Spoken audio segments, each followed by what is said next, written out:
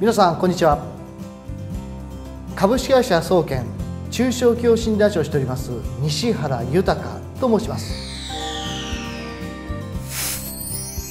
中小企業診断士の資格を持っておりましてコンサルティング私は主に再生案件担当しております。中でも私への仕事の案件が多いのがリードタイムの短縮。リードタイムというのは仕事のプロセスを短くする。今コストダウンで重要なのは時間です。この時間を短くする。短い時間でコストダウンを実現するというのが私の仕事になっております。仕事のプロセス長さを短くする。具体的に言うとどんなものがあるのか。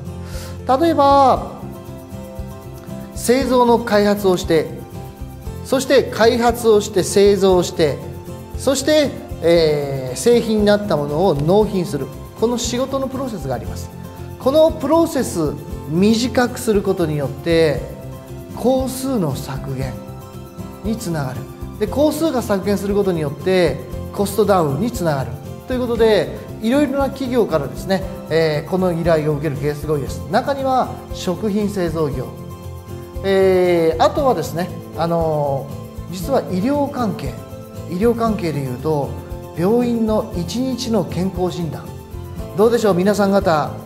診断結果って翌日郵送じゃないです。